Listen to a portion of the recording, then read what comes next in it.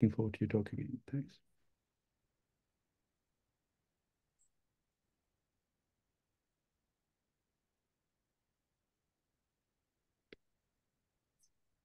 Professor Cinalli, your mic is uh, mute. Sorry. Thank you very much for your invitation. Thank you for your comments on the books. That were um, multi-author books, and many of the authors uh, made the book and are here in the webinar. So uh, it is not my uh, merit, but just the merit of all the authors. Thank you for giving to me the opportunity to talk about external hydrocephalus in infants, a mysterious, mysterious, so-called mysterious um, condition that has so many synonyms. In fact, we should talk about uh, uh, external hydrocephalus, also known as idiopathic pericerebral swelling, pericerebral collections, benign enlargement of subarachnoid spaces, benign external hydrocephalus, uh, idiopathic external hydrocephalus, subarachnomegaly, familial macrocephaly, megalencephaly. All these synonyms have been taken by the literature, and all of these Uh, synonyms for me are not good enough because uh, uh, idiopathic pericerebral swelling is not means nothing. Pericerebral collections also is not mm, precise enough because there is also ventricular dilatation associated. Benign enlargement of the subarachnoid spaces, is especially inexact because it is not always benign, and it is not only enlargement of the subarachnoid spaces because also ventricular dilatation is associated. Benign external hydrocephalus is uh, also insufficient and not precise because it is not always benign. Idiopathic means nothing. Subarachnomegaly is uh, not precise because there is also ventricular dilatation. Familial macrocephaly is uh, good, but it's extremely large, and megalencephaly also is a very archaic way of calling this condition. So I want, I am very happy to go back to the old uh, name of external hydrocephalus, and I will call this condition as external hydrocephalus. That goes back to the root of the uh, word of hydrocephalus, excess of fluid inside the brain, uh, inside the uh, inside the head. Uh, it is distributed between the subarachnoid spaces and the ventricular space in most of the cases.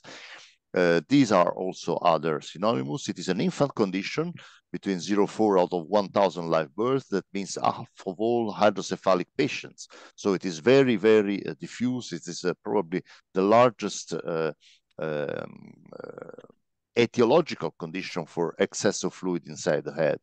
It is characterized by progressive microcrania with widening of the subarachnoid spaces uh, and associated with non-progressive ventricular dilatation.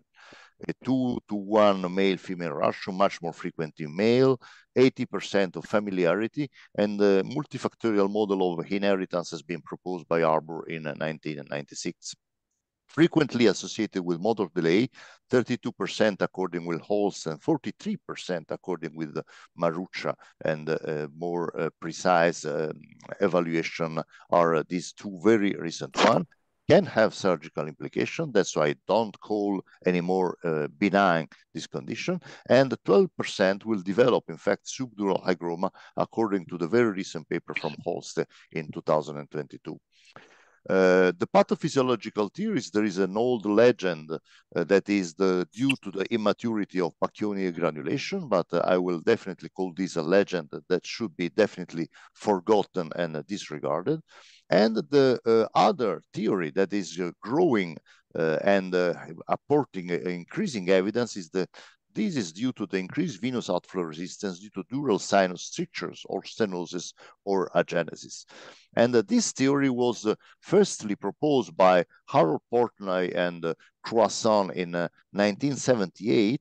And the second part of the title, as you can see in this very old paper, is the possible role of increased dural sinus pressure. These authors were doing invasive measurement and the perfusion of the CSF and were able to indirect measure the sagittal sinus pressure values. And in seven of these uh, cases, he they found mm, in all cases significantly higher sagittal sinus pressure if compared to the control.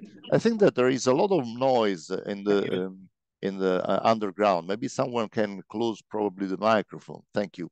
And so the sagittal sinus pressure was uh, high in uh, all of these patients and even quite high in all these patients. And they also did all the study that is uh, very rare to do now, that is the cisternography. And they also found that there was a prolonged retention of isotope over the convexities at 72 hours. So we must remember that this paper that is uh, uh, quite neglected and uh, uh remains a very many important point because it was the first and only invasive in vivo indirect measurement of sagittal sinus pressure in patients with external hydrocephalus.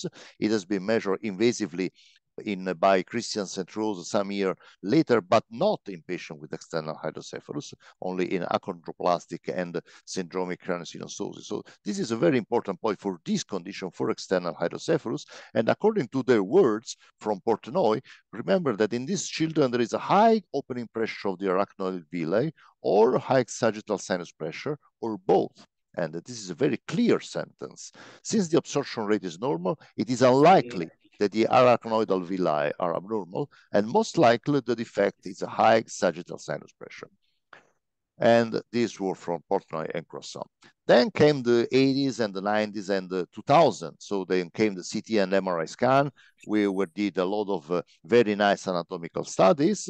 Portnoy and Croissant paper was lost and neglected under the many quaint and curious volume of Forgotten Lore, according to the citation from uh, Edgar Allan Poe. And invasive CSF dynamic studies in children remain confined to very few departments. And there was finally, in these years of lack of evidences, the rise and glory of the legend of immaturity of arachnoid villi. I, I hope you don't hear the same uh, sound that comes back to me of people talking. I hope Sorry, you can understand Prof. clearly. Prof. Uh, but, uh, but I don't know. I understand that. Please um, uh, mute your microphones, please. Thanks. I, understand this can happen. no problem. I it's just I hope you you you can understand what I say. Yeah. Then came the now very nice paper from uh, Bateman and Napier in six cases that were kind quite confused etiology because one had uh, subdural hematomas, three had meningitis, one had prematurity. But these authors were the very first one to notice that this patient had very significant strictures at the level of the at the level of the uh, Um, uh, transverse sinuses and at the level of the dural sinuses of the posterior fossa. Then the very nice paper from Sainz and Schuhmann showing that their this patient had strictures at the level of the uh, um, sigmoid and transverse sinuses, they did a scale to evaluate these and they correlated the gradient of the venous obstruction to the uh, amount of CSF collected in the subarachnoid spaces of the literature. They also found and demonstrated that some, in some cases, after subdural or subarachnoid shunting, the strictures were able to somehow regress after um, uh, uh, after shunting. That is uh, something that is very well known after ventricular shunting, but uh, has been also shown in these cases.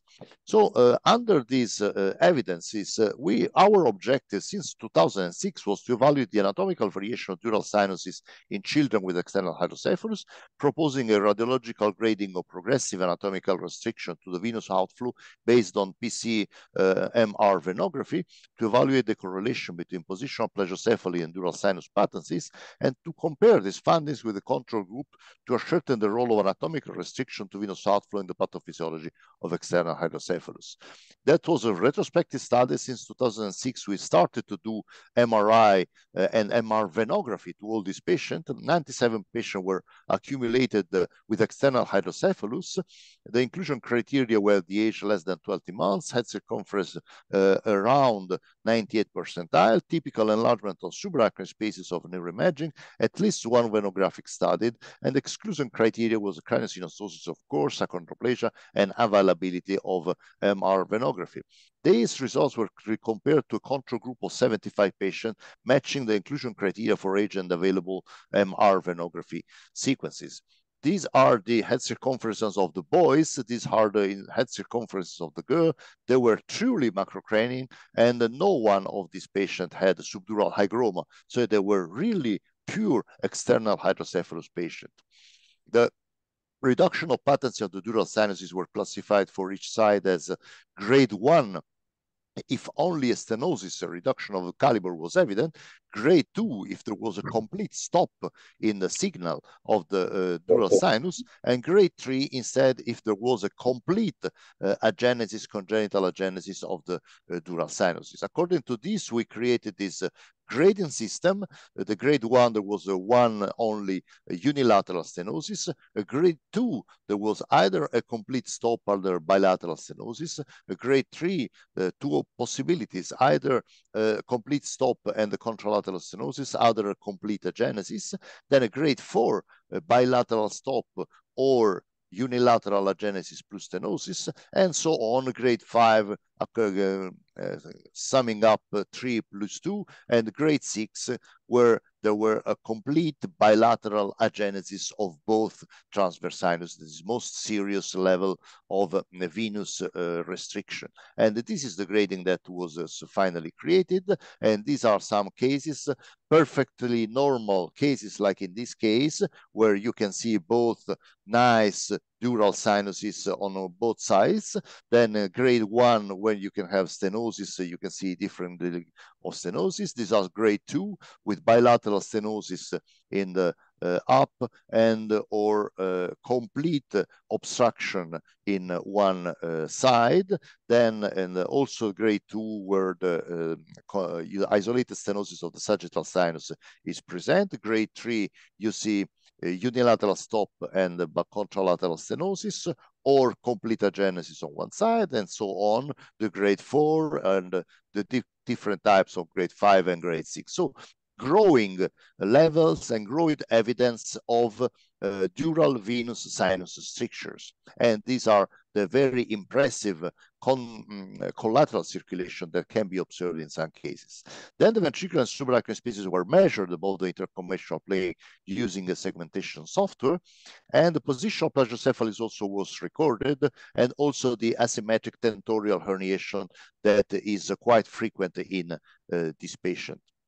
The results of course, as expected, the subarachnoid space volume were significantly larger by definition if compared to control in this group of patients. And also the ventricular volume was significantly larger if compared to the control group of patients, indicating that it is not an only an uh, subarachnoid spaces pathology, but is also associated with a ventricular enlargement as well. The venous obstruction grading correlated positively with the volume of the uh, subarachnoid spaces, and this was significant. The higher the grading, the more important the volume of the subarachnoid space uh, enlargement, and this was a positive correlation. And we also saw that uh, comparing cases and control, and when we look at the uh, gravity of the um, intracranial venous drainage obstruction, the highest degree of um, obstruction were only present in the cases because only one control case had a grade five, but otherwise all the grade four, grade five, and grade six were all concentrated in the in the cases series. So a significant correlation was found between the presence of venous drainage alteration and the diagnosis of pericerebral collection, indicating that there is a clear correlation between these two conditions. So the also significant correlation was also found in the case group between the grading of the vascular anomalies and the normalized subarachnoid space volume. And this was also significant. The higher the obstruction, the larger the subarachnoid spaces. So this was also an important finding. Postural plagiocephaly was also uh, um, uh, studied, and we had seen that on the side of the postural plagiocephaly, there was a significant correlation with the presence of a more important venous obstruction on the uh, postural plagiocephaly side. So that was probably an impact of the uh, on the um, uh, development of the dural sinus. So the postural plagiocephaly was significantly more frequent in case group, and in symmetric dural sinus anomalies, the most severe alteration were significantly associated with the flattened side of patient with postural plagiocephaly, both on the right and on the left side. And also this correlation was highly uh, significant. So the first question came, why do infants with external hydrocephalus have such a high and significant rate of stenosis occlusion of venous dural sinuses? Uh, there are, of course, existing models in nature, as you all know, the achondroplasia and syndromic craniosynostosis. In this patient, the intracranial hypertension and the hydrocephalus are uh, correlated with the presence of a jugular foramen stenosis due to the synostosis or precocious closure of the um, basal uh, basal synchondrosis that delimitate the um, jugular foramen. So, uh, of course, there is a reason for this in these two pathologies, but we have no reason for a jugular foramen stenosis in external hydrocephalus. Um, we also know that uh, on the basis of the experimental paper of Christian Sainte-Rose in 1994, we wanted to verify the hypothesis that the uni or bilateral jugular foramen stenosis could be at the origin of the significant dural venous sinuses alteration observed in external hydrocephalus in infants, and therefore be responsible of increased venous outflow resistance as the main pathophysiological factor of the diseases. Uh, so we studied this possibility. On the previous collected database, we were able to select 82 patients and 54 control with a suitable MRI scan that was uh, possible to study. And we were able in uh, these patients to study the size of the jugular foramen on the uh, according to the um, method uh, validated by Calandrelli in 2017, studying the jugular foramen of um, uh, of achondroplasia. There is not only necessity of uh, uh, a CT scan because uh, jugular foramen can be adequately studied also on MRI sequence and very clearly the size can be um, evaluated. The sequence selected was such sagittal 3D PCMR. Uh, jugular foramen areas were measured on multiplanar axial reconstruction, and the areas was measured between the posterior temporal bone and the jugular tubercle of the occiput of the uh, occipital bone uh, medially. Uh, this is one example of a measurement. Three neuroradiologists studied this. JFR were measured twice, two weeks apart by two neuroradiologists with at least 10 years of experience. Intra-class correlation coefficient was measured, and also the intraoperative reproducibility was studied according to strict radiology. Um, uh, statistical methods, uh, venous uh, uh, obstruction grading score was ranked from 0 to 6 according with the validated grading that we had described previously that is published in Child Nervous System in 2021. The age of the patient for the patient was uh, 15.2 and uh, for the control was 13.9, no statistically difficult and significantly uh, differences. Male-female ratio was uh, significantly um, in favor of uh, males for the patient if compared to the control according with the uh, typical um, distribution of the disease. Intra and interoperatory reproducibility was uh, um, excellent, both for intra and interoperatory. So this was a very reliable measurement. And finally, we found that the mean jugular foramen area in the controls with external hydrocephalus was significantly small, sorry, in the control in the patient with external hydrocephalus was significantly smaller if compared to control. And this was significant even for the mean jugular foramen, but more strikingly, the smaller jugular foramen area was even more significantly smaller in external hydrocephalus if compared to control, given the physiological asymmetry between the left and the right. The smaller jugular foramen was uh, typically significantly smaller than the smaller one of the controls. Also, the postural plagiocephaly played a role on jugular foramen size and the dural sinus development. Jugular foramen was significantly smaller on the plagiocephalic side, and also the venous obstruction was significantly higher on the plagiocephalic side. So probably also the postural and the plagiocephalic and the flattening of the posterior part of the skull played a role in the development in the size of jugular foramen and of the uh, uh, dural sinus uh, anatomy, as it was clear in many of our uh, patients. So this is a discussion there is a significantly jugular foramen stenosis in patients affected by external hydrocephalus, and this is a fact that is statistically significantly demonstrated by our study. The CT aspect of the petroccipital synchondrosis is the next step to study, but it looks normal at the preliminary uh, review.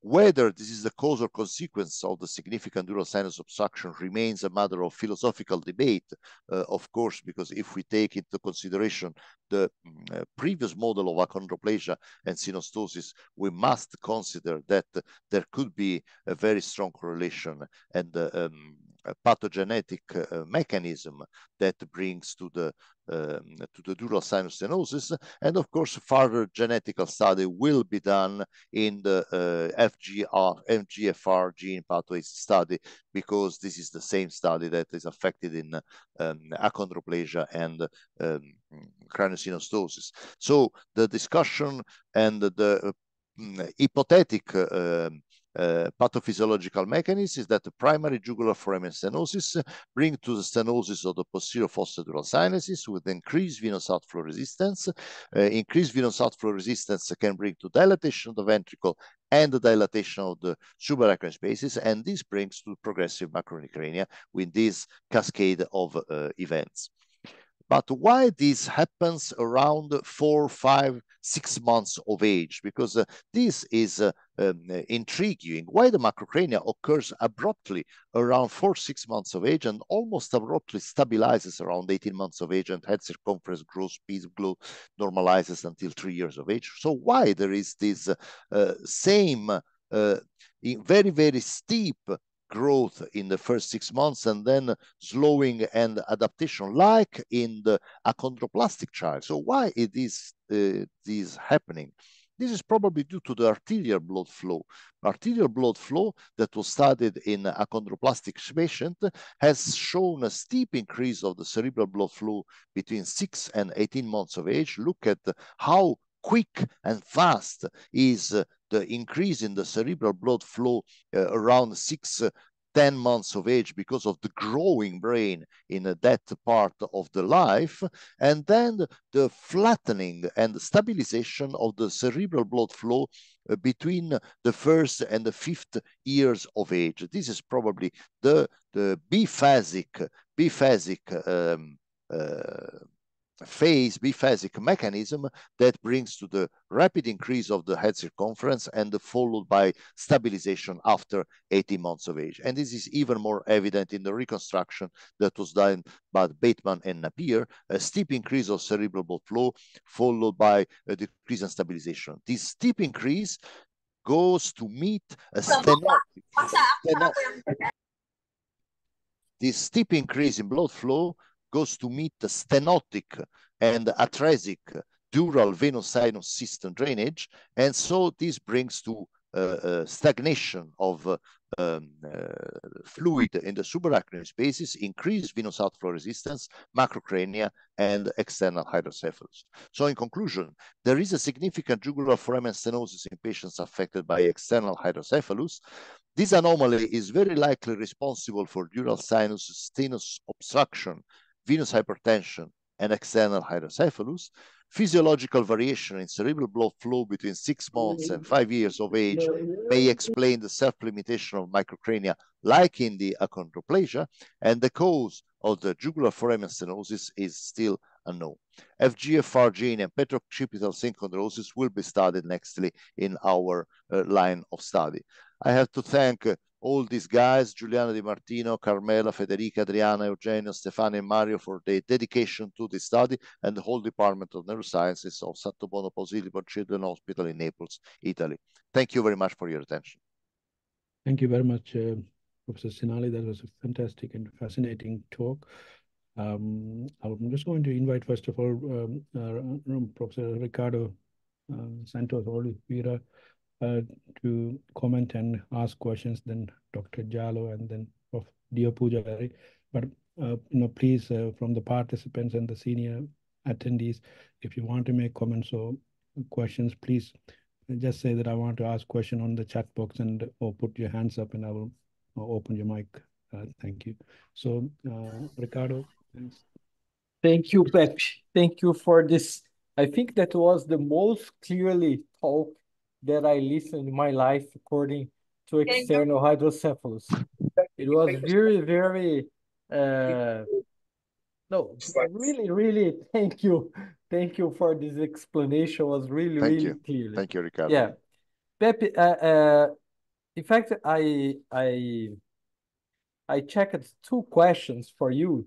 The first is, did you find some correlation between the side of the stenosis, the venous stenosis, and the subdural collection? So is there some correlation? No. Sorry, statistical correlation? No. No, Yeah. uh, the, it's a subarachnoid collection. Uh, all the subdural collection were excluded. Of course, uh, we are talking about the subarachnoid collection, but uh, they were in all cases very, uh, very sy- symmetrical, very symmetrical without any uh, any uh, uh, pre- predominance of side. Okay. And my and my other question, of course, was exactly uh what you said what you said in the in the in the end of your talk. So about how uh most of case you can see an instability. So it's a tran maybe could be a transitory situation. And you you explain us that it was probably an adaptation of the blood flow uh, in, in those uh, infants. Did you have some uh, children that we studied after two or three, four, five years, uh, just to compare if the this venous um, this venous finding that you that you showed in the MRI, it changed according to the life in those children, or it it is it is stay uh, at the same at the same time. It, it, it means uh, Yeah. the anatomical uh, changement is uh, is a is a transitory as the functional blood flow as you show, or it's really an anatomical um variation of those children. Uh, the, yeah, thank you for the question. I, I had no time to talk about that. It is reported in the first paper that was published in 2021. There were approximately uh, 15 patients that were, had uh, successive uh, MRI studies during life, and there is no clear pattern of evolution. There were uh, one third of the patients that were significantly worsened in their uh, stenosis uh, and obstruction anatomically. There were patients that were absolutely the same, and there were patients who improved, and that was approximately 30% each group of patients. So it is absolutely uh, unpredictable and not the, the not clearly defined pattern of uh, evolution. Okay, thank you. Thank you. Uh, thanks, Ricardo. George, can I please Hey, bring you? Thanks, Pepe. I mean, incredible talk. I mean, it's it's it's changed how um we should probably manage these children with uh, external, you know, these external fluid collections. How do you manage them? Uh, you know, ha- given what you've what you've learned today, and how Yeah. should we manage them? Uh, because I can tell you, you know, um, in the United States, most of us say, "Oh, you know, we get it. We see the child, say external hydrocephalus, do nothing. We'll see you back in a couple of years, if that." Yes, thank you. Thank you very much for the question. It's an excellent question, and uh, uh, most, the vast majority of the 97 patients that were studied were not operated. I think we we were obliged to put a lumboperitoneal drainage in one case, who had a papilledema, very uh, strange and uh, severe cases, and uh, but be only because he had a papilledema, and uh, uh, we were obliged to uh, operate, I think, uh, two cases who developed uh, subdural hygroma. Uh, but otherwise, we were very conservative, extremely conservative, although these patients are frequently associated with a very uh, um, worrying situation. Sometimes these patients have a very significant axial hypotonia. They have uh, motor delay in up to one third of the cases, and we found complete agreement with the literature. So this explains the fact that in in some countries, uh, and uh, there is a clear, uh, clear um, evidence of the fact that in some countries, these patients are operated. These patients are operated up to 30, 40% of surgical indication. And this is a risk because the surgical indications varies from zero in some countries and some uh, series up to 30, 35, 40% in other papers. And this is uh, uh, incredible. This is incredible because this explains the confusion that there is in these uh, patients. Most patients are uh, misdiagnosed between pure external hydrocephalus and subdural collection.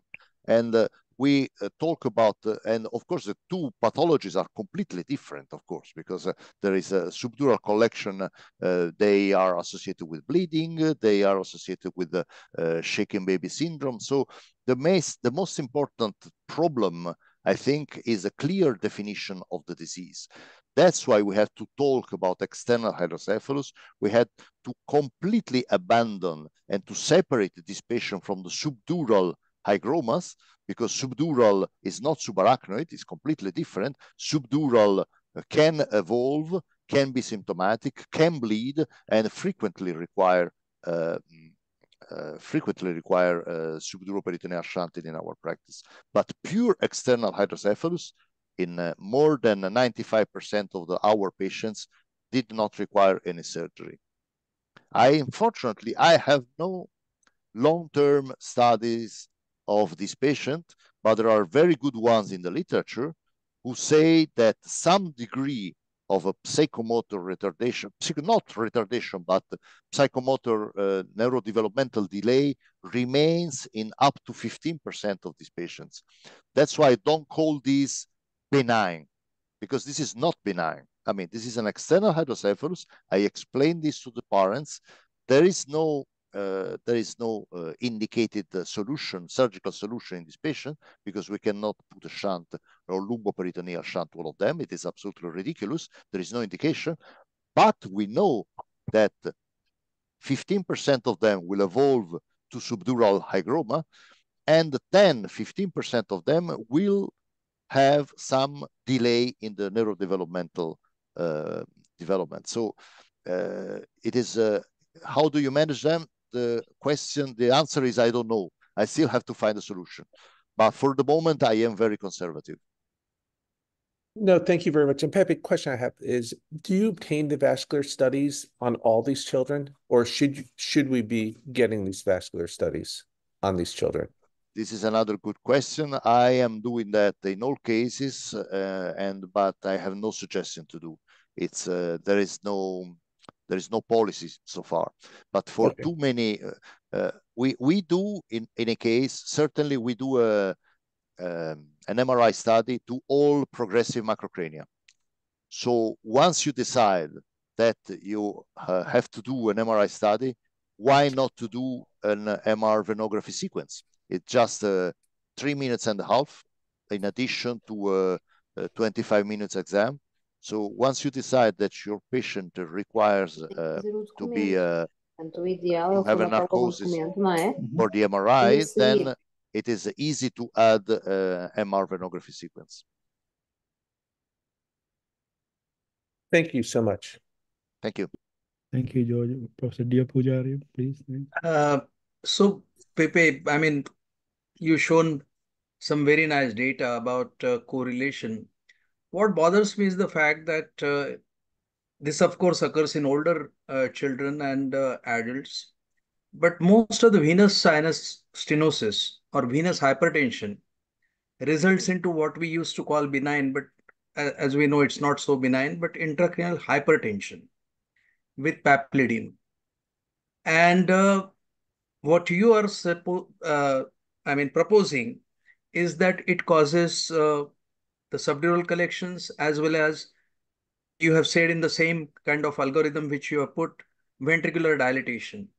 So my question is, uh, why do you think it happens in young children, uh, such young children? And secondly, have you always had hydrocephalus associated with the, because hydrocephalus first you said, and then you said uh, severe external hydrocephalus. So Thank you. how commonly have you seen increased ventricular size in uh, these patients? Thank you. Thank you for the question. The big difference, of course, between the uh, external hydrocephalus and the uh, so-called benign intracranial hypertension in adults, of course, are the sutures. Because in the first year of age, the sutures are open, your skull can enlarge, and the interstitial pressure of the um of the brain can expand, so you have the possibility for ventricle to expand. And you don't have this in closed suture, because when you have a stenosis that occurs at 15 years of age, 20 years of age, your skull is completely closed. You have an increase in the venous pressure, you have an increase in the interstitial pressure in the brain, you have a decreased brain compliance, and you have an increase in the uh, intracranial pressure without any ventricular dilatation.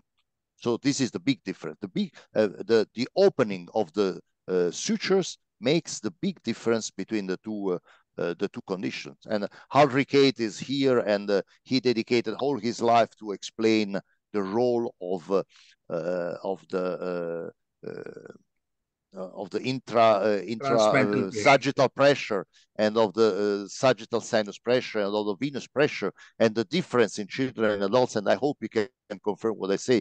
But I mean, all what we say is based on the studies of people like Ulrich Kathe and Portnoy that I cited earlier.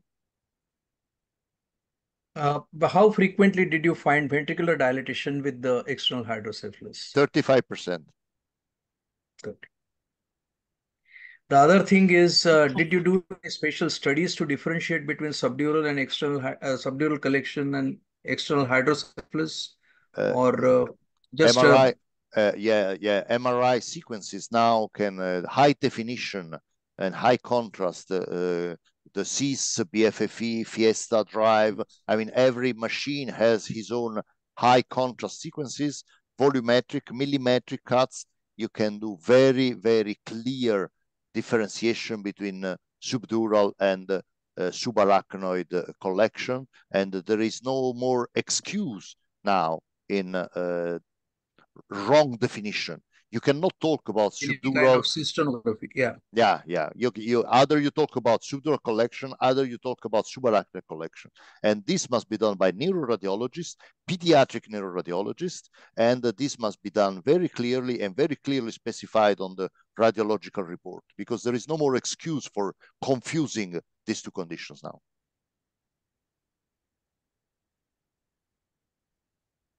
Thank you, Naren. Great. Thank you, Professor Deopujari. Mr. Um, um, Shailendra Magdum, uh, uh, can I please bring you to ask your question? He's from Oxford. Thanks. Hi. Thank you. Great talk. I think this this talk really kind of uh, gives an eye-opening of the things to think about in the future about these cases. And looking at what your experience is, it, it is some of these cases do present with papillary edema, and I have, um, instead of doing a lumbar puncture, treated with a course of acetazolamide for three to six months, which has kind of controlled the papillary edema and the pressure, and then after that, it has resolved on its own. Second question to you is that, um, if you see some of the cases where the venous sinuses are not narrow, but there is a high-pressure system down south, which means that the right atrial pressure is high, uh, how how many of these have you encountered? Because if you get Uh, the uh, right to left shunts with uh, venous hypertension, you tend to also see these cases, which which are rare, but they can be present as well. Yes. Thank you. Thank you for remembering this possibility. And in fact, acetazolamide is the only, as far as I know, the only medication that clearly decreases the CSF production by 30%, according to the literature. So, it is certainly an option. As well, the lumbar puncture, in order to manage acute uh, people, acute presentation with papillary edema and association of lumbar puncture and acetazolamide is an option for before taking the decision of shunting. So certainly this is an option, and it is it can be effective. I have no experience in that, unfortunately, and I have not the, the lucky experience you had in your case. Uh, my case uh, that we tried to manage with the lumbar puncture was the case that finally ended up in lumboperitoneal shunting. And uh, he resolved the papilledema with the lumboperitoneal shunting, but had incredible amount of complication related to the lumboperitoneal shunting. So uh, uh, think very, very well before shunting these patients because it's it's really they can uh, lead to uh, uh, slit ventricle syndrome due to the high venous pressure and due to the um, uh, high decreased compliance of the brain parenchyma. So uh, try and whatever you can. And secondary care is later on. Yeah, so yeah. Somebody is asking the dose of acetazolamide. It's in the in in the, the British National Formulary. You have to start it at eight milligram per kilogram in divided doses, and then you can slowly increase it to get a uh, get a good response. Monitoring the blood for electrolytes in about six to eight weeks time. Yes, yes. The the the, the problem is that of course you cannot do uh, acetazolamide uh, throughout life, and uh, it is uh, it is reported that there are some uh, uh, kidney complications. So it is rare. I have never seen that, but this can happen. So. And unfortunately, the most frequent problem in acetazolamide is that it's not the dosage of the acetazolamide is not high enough, as you say. The, you have to start as progressively, but you have to increase to uh, to to adequate adequate uh, dosage, and frequently people stop before this dosage, so it is not as effective as it could be. Thank you. And just to mention on the acetazolamide, I'm, I'm glad uh, Mr. Magdum uh, has found it safe, but uh, I have mainly used it in NPH patients, and none of them, most of them didn't tolerate, and it has got a lot of uh, side effects as well um, uh, in terms of kidney, in terms of um, hyperchloremic acidosis. So yeah. you have to be careful with um, acetazolamide. Uh, Mr. El Gamal, uh, you have got a question. I think um, Dr. Mr. El Gamal was asking. Uh, I think you mentioned it, the relation between extraaxial fluid and grade of sinus abnormality. That's the yes. That's brilliant. And uh, uh, Dr. Mukherjee is asking a good question. I think you mentioned that uh, the benign is a misnomer. Do you think, uh, just de de developing from that point, do you think there's a two different, there's a benign one and a non-benign one, or do you think it just needs more, more um, examination to see whether it is, uh, you know, those those cases where there's no uh, sinus stenosis, whether they are related to something else or whether they are benign? Well, you know, it's uh, it's like in every natural phenomenon, you have a, a Gaussian uh, distribution. So you have the light cases and the serious cases, and uh, to also uh, reconfirm reconfirm the reconfirm what say to George Jallo. That's why I prefer to perform an MRI with an MR venography to all these children because you know not only you are sure of the anatomy of your collection you are sure of the grading of your venous obstruction and this can add elements to your clinical decision. Thank you. Uh, dr Rekate uh, uh, can i invite you to make your thoughts and comments? Um, you go you know you, one of your area of interest as professor Deopujari was mentioning is subcortical csf uh, it would be great to have your thoughts on what Professor Cinalli has mentioned. I enjoyed that conversation very well. I think it was uh, well done. Um, yes, I think that very few patients need uh, any involvement. Um, it's it would be nice to be able to control the venous system um, better. I think uh, um, I appreciate these the remembrance of uh, the difference between the, vein, the veins. I um, I wonder if um, the stenting uh, of the uh, veins um, is still being used. Um, it, it was a big thing um, five years ago or so, but I don't hear anything about it now for these uh, problems of venous uh, failure in uh, um, in these with the CSF problems. Um, I um I, I just wonder I, I come to hear to new to hear new things and I find it and I appreciate what you're doing and I think that this has been very good so far. Thank you. Thank you all. I think that uh, the, the, the venous stenting uh, certainly has some indication in uh, in adults intracranial uh, benign uh, intracranial hypertension. Uh, I have no not not in this pathology as far as I know. I have no any notion in the literature of any attempt to treat this condition that is still remain a relatively relatively acceptable condition and that does not require treatment. So it uh, probably we will never have any uh, nor uh, intra-sinus uh, pressure measurement, not measurement across the gradient of the obstruction in this kind of children. I don't think so. Not with the actual uh, technology that we have. One of the things that uh, you didn't talk about, and I thought a very good talk, was um, the effect of the fontanelles or the um, head, uh, how big the head is. Um, isn't that uh, is that anything having to do with your uh, analysis? The size of the head, you mean? Yeah, the, uh, the, the, in the, in the yeah, the, the, yeah, yeah. There was a, a there was a correlation. Uh, there was a correlation between the the venous uh, outflow uh, gradient score and the amount of CSF that was of course correlated with the with the overall volume of the head of course. That that, that was an intuitive correlation. So that was not nothing surprising. Thank you. Thank you. Thank it was great to see you all nice to see you too. Hopes to see you soon really. Sure sure. In toronto certainly certainly. I will i'll do that. All right Thank you, Dr. Dr. Boop, can I please invite you to um, uh, share your thoughts, uh, questions to Professor Cinalli? Oh, thank you. I, Pepe, I, I would agree. This is the best talk on this subject I ever heard, and it's the second time I've heard you give it. I, I always learn something.